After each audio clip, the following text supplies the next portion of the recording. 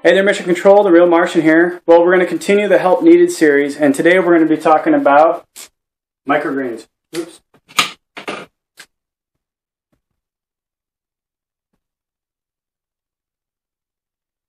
All right.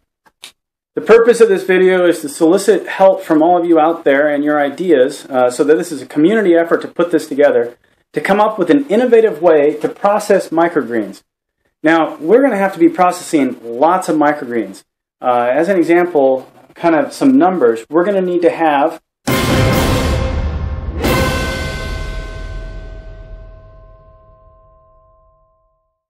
So that's a lot of trays that we're going to have to go through. So we're going to need some innovation in order to solve this problem. So let's go over some of the basic steps. Step one that takes some time is planting. Then you have the growing. And that is going to lead to another project I haven't mentioned yet, which is the lane one and lane two uh, microgreen specific design.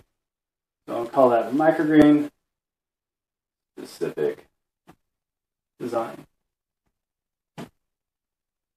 All right, so I'm really excited to get to the, the lane specific build, and I'm going to do another video. It wasn't part of my original uh, items up here that I was going to talk to you about in the help wanted, but I, in talking through and so far how these videos have gone, I'd like to share it with you as well. But I'm going to keep this video specific to the process um, that you have to go through and where we need to innovate there for microgreen processing. So once you grow it, uh, then you need to harvest it. So this is the act of taking the tray off of the line, off the production line, setting it somewhere else, and then whacking it uh, and getting the microgreens off of it. If you watch Curtis Stone's videos on YouTube, he does great work. Uh, scissors or a really sharp knife. Uh, but we have so many trays that what I'm thinking is that we have some form of conveyor belt. You set the thing down, and either you have a hedge trimmer or something like a hedge trimmer that the microgreen tray, you know, comes right through and gets cut and then maybe some air that blows the cut uh, microgreens off to the side, get caught on another conveyor belt or a bucket or a bag or something, whatever it is, uh, that then collects the microgreens and brings them to the next spot of the station. So harvesting, uh, I guess, so you have the actual act of picking up off the lane, um, and then you have the act of cutting. After you cut, you have to clean. So right now we have the three station sink, clean, clean, clean, um, and then you have dry. And while it's drying, you have a sort that you have to do, which is really your, your quality control, where you're looking for little seeds stuck to the microgreens, any fungus, any bad microgreens, and you need to get rid of them. And then packaging. PKG, short for package. Um, and right now, what we use, let me show you. Sustainable is our goal, so we use these Rubbermaid bins for our customers, and then we put labels on them. I don't have any labels on this one yet, um, with the date, and then we take these to the customers and give them to them. And then when we take our next shipment there, we get the used ones back, and then we just keep cycling through these, so we're not, you know, creating more waste. That said, uh, it might be better for us to shift over to like plastic baggies or big plastic bags or something, but plastic bags aren't as stackable, so I think our customers like might like to do this. But when we get all the trays that we need to be doing, uh, we're going to need to think a lot bigger than those Rubbermaid trays. So the plastic bags might be the way to go. So, uh, planting, growing, harvesting, cutting, cleaning, drying, sorting, and packaging.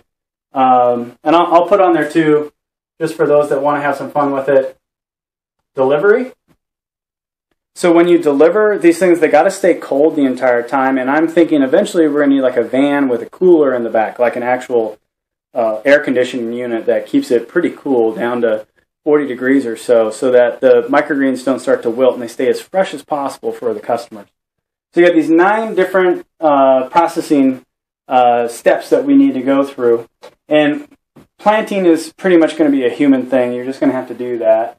Um, there are some really cool videos out there. The guys have got the 3D, arm, you know, the arm. It's essentially a 3D printer, Um, but for us right now, I can't think of a way where you're going to put all the dirt into one of those things because you, you have to take your tray. Oh, sorry, there's one more thing.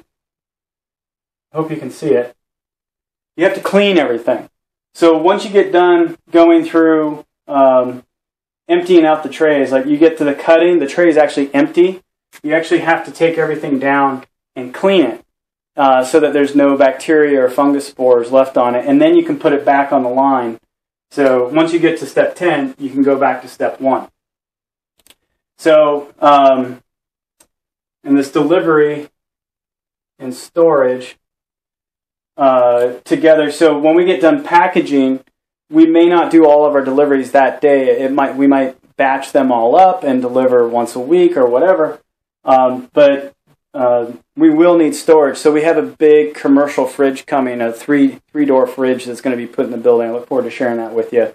So we will be able to store almost all the microgreens that we could possibly need in a week. Uh, we'll be able to store those out there. So um, we might end up having to get a second fridge, but uh, should work. Okay, so these are all the different steps, and in this video, I just want to give you kind of my idea, the walkthrough so let's go out to the building and let me show you what I'm thinking. So I want to talk I want to talk about microgreen processing and what we have to do here. So in our insulation video, we talked about the fact that chances are this is going to get enclosed and turned into a little room. Well, when we process microgreens, you have there's a few steps that you have to go through, and what I want to talk about here is kind of visualizing the harvest uh, and the cleaning and everything. So I, I'd have to take my tray right? And right now, I, I walk back over here. I'm sorry. I walk over here, and I set it down, and I start snipping. I, I start cutting it all with scissors or a really sharp knife. We use both depending on what type. Peas, the sharp knife works. Microgreens that are radish or radish greens, uh, usually a uh, scissors are what are required there. Then you take them over to the wash sink. We have a three station wash sink wash, wash, wash, and then you lay them out on the table. Over here, you lay them out on the table, you turn the fan on, and you dry them. That's so they don't get moldu or mildew on them or any mold or anything uh, before they get to your customers. Then you have that empty tray. You got to take the tray outside. You got to clean it. Then you got to replant it, put it back on the lane. So when we're up to full speed, doing that one tray at a time isn't going to work. It's just going to be Alicia and I, uh, and that's Mrs. Martian. And we're going to have lots of trays that we're going to need to do. So, what I want to do is think through an innovative way, kind of like Henry Ford and the assembly line, where I can essentially take a tray, put it here, which is the middle of the building, and then have it run through some form of automation.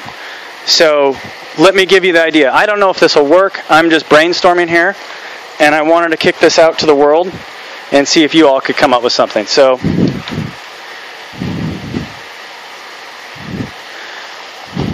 this area, the building, was left open so we can get a tractor in here, and that allowed us to help build all these lanes and everything. Um, I think the only thing that would potentially change this year though it would have no impact on this, is we would dig a big six foot deep trench here and put our heat tube down in the ground and then cover it back up so you wouldn't know they're there. So you're still going to have this big open area. Well, for microgreen processing, I think it would be way cool and necessary if I could take my microgreen tray and set it right here. And there's a conveyor belt. And that thing takes it over here and it runs through essentially some form of oscillating like a hedge trimmer. But we have to have a hedge trimmer that's meant for uh, things you can eat, uh, not covered in grease and oil, because then that just makes cleaning the things you're going to eat a lot harder. So you need to have a hedge trimmer type of thing, and then it runs over the top of your tray like this, wah, mows it all down. But then there's a potential that those clippings can just fall back into themselves and kind of get clipped twice. So I think if you have a little puff of air just constantly going, so as it comes, it goes and it's just puffing and it's moving those microgreens like over here to another little area where they can run up and down a conveyor belt uh, to the next station. Once it's cut, we essentially just need to dump it.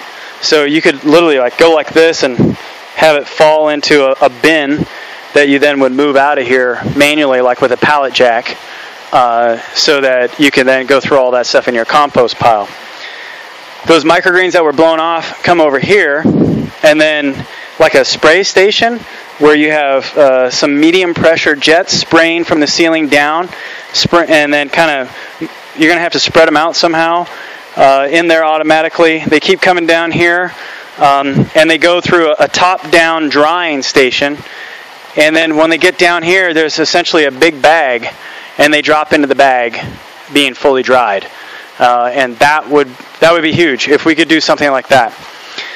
I think that's where the real challenge of what we're trying to do as far as you know the microgreens go. This isn't part of the G11 idea where we want to put this in Econics. Just as a reminder, we're doing this to help generate funds to pay for all the research. So this year is really we're, pretty much got it down to where we've got to get this running, do this type of processing, figure out the heating, the thermal, uh, the insulation, so that we can actually really focus on the long-term strategy next year and the year after. But this year we need to get the microgreens up and running so we can earn the money we need to pay for the research and development. Unless, of course, one of you out there knows a really friendly angel that could help us out and get us the funding that we need. That would be way cool. Anyway, so that's the idea for microgreen processing. The actual automation of that is what I'd really like to do. So finding a conveyor belt, finding that station, uh, getting the air system put in. I think those will all be really good things. And if we can make it work, then we could go through a lot of microgreens, just the two of us. Uh, it'd be a lot easier.